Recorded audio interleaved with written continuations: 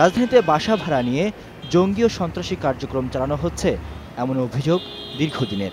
বিভিন্ন সময়ে অভিযান চালিয়ে জঙ্গি গোষ্ঠীর সাথে জড়িত অনেককে আটকও করেছে পুলিশ। উদ্ধার করা হয় অস্ত্রবোমা এমন পরিস্থিতিতে সন্ত্রাস ও জঙ্গিবাদ দমনে দু হাজার পনেরো সালের নভেম্বরে বাড়ির মালিক ও ভাড়াটিয়াদের তথ্য সংগ্রহের উদ্যোগ নেয় ঢাকা মেট্রোপলিটন পুলিশ।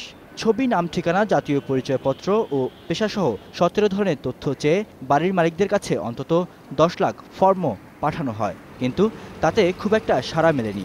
থানাগুলোতে জমা পড়েছে মাত্র আড়াই লাখ ফর্ম। সম্প্রতি রাজধানীর বেশ কয়েকটি এলাকা থেকে তাজা গ্রেনেড, আগ্নেয়াস্ত্র ও বোমা তৈরির সরঞ্জাম উদ্ধার করে পুলিশ। ওইসব এলাকায় বাসা ভাড়া নিয়ে কার্যক্রম চালাতো জঙ্গিরা। তাদের বিষয়ে কোনো তথ্যই ছিল না ওইসব বাড়ির মালিকদের কাছে। এসব ঘটনা আমলে নিয়ে গেল রোববার সংবাদ সম্মেলন করে বাড়ির মালিক ও ভাড়াটিয়াদেরকে পনেরো মার্চের মধ্যে থানায় তথ্য জমা দেওয়ার আহ্বান জানান ডিএমপি কমিশনার। আগামী পনেরো মার্চের মধ্যে আমরা যে ডেডলাইন দিয়ে দিয়েছি এর মধ্যে আমরা সকলের সহযোগিতা পাবো।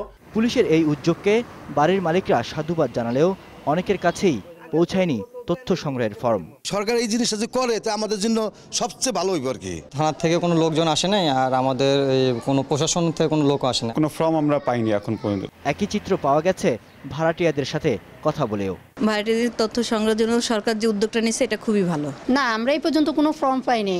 আমরা টিভিতে একবার হেডলাইনে দেখেছিলাম। রাজধানীবাসীর তথ্য সংগ্রহে ঢাকা মেট্রোপলিটন পুলিশ আরও সচেষ্ট হবে এমন প্রত্যাশা বাড়ির মালিক ও ভাড়াটিয়াদের। রিয়াজ সুমন একুশ টেলিভিশন ঢাকা।